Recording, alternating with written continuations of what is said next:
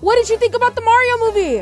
Uh, I completely hated the movie. That's a movie for little kids, okay? I would never. Me after watching the Super Mario Bros. movie. It was a cinematic masterpiece and is now my favorite movie. this will never be my favorite movie. I don't know what you're talking about. So beautiful, brings a tear to my eye. What is that? Uh, I don't remember this scene in the Mario movie. what is that? Who drew that? That's right. I'm gonna have the best video game movie of 2023.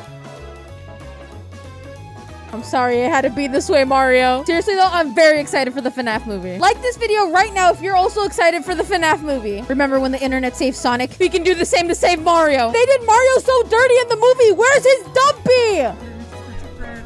Sing it, Bowser! I love you! Oh my god! Okay, Mario! No. No. No!